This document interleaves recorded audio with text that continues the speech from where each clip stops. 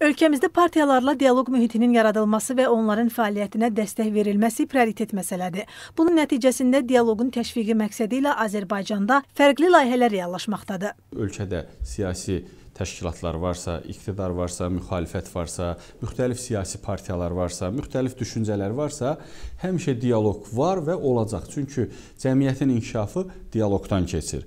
Siyasi institutların, siyasi partiyalı sistemdə dövlətin inkişafı dialoqdan keçir. Dialoq ümumi işin xeyrinədir, dövlətin, cəmiyyətin inkişafına xeyrinədir. Siyasi partiyalar öz e, üzvlərinin işsizliyi barədə şöbəyə müraciətlər ünvanlayıblar.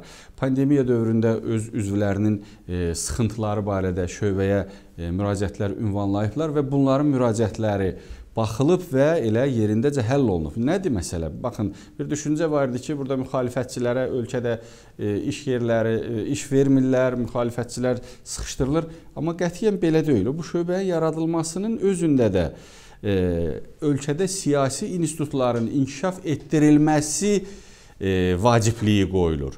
Yəni bu məsələnin özü də göstərir ki, dövlət və dövlət başçısı xüsusi olaraq maraqlıdır ki, ölkədə siyasi institutlar inkişaf etsin. O baxımından dövlət başçısı sərəncam verib bu şöbəni yaradır. Bax bu dialoqdan keçən bir yol idi. Bax dialoqun məntiqi biz nəticəsini görürük.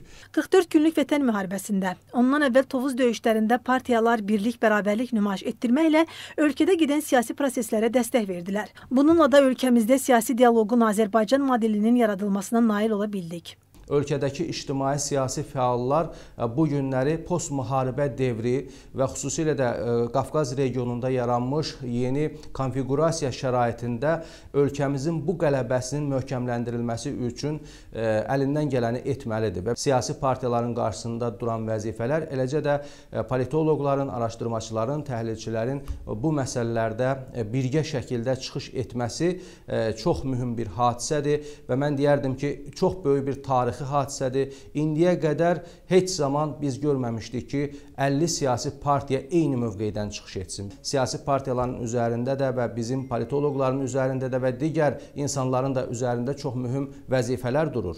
Eyni zamanda islahatlar prosesinə də, e, ölkədə gedən bütün proseslərə də öz töhfələrini verməlidirlər. Təkcə tənqidlə məsələ yox, eyni zamanda e, bu məsələlərdə sağlam e, düşüncə ilə, sağlam təkliflərlə çıxış etmək mühümdür. Mən məhz bu baxımdan düşünürəm ki, bu istiqamətdə e, uğurlu nəticələr var və bundan sonra da bu uğurlar davam etdiriləcək. Prezident administrasiyasının siyasi partiyalar və qanunvericilik hakimiyyəti ilə əlaqələr şöbəsi onları bir araya gətirməklə bu istiqamətdə müsbət nəticələrin əldə olunmasına çalışır.